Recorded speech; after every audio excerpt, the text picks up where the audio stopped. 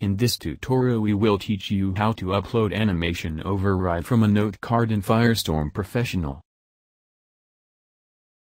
First select the animation override note card you want to import from the website at Goon Squad.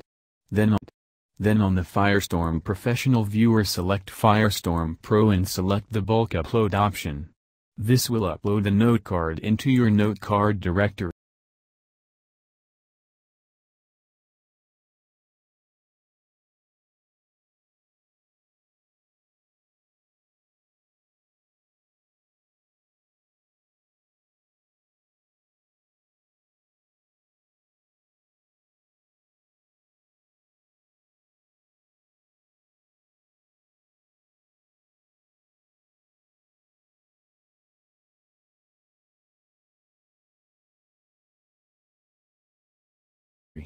Drag and drop the, the note card into the animation override floater and it will be saved into your local inventory.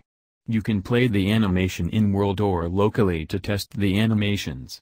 Now you have successfully uploaded animations for your avatar using the note card downloaded from Goon Squad.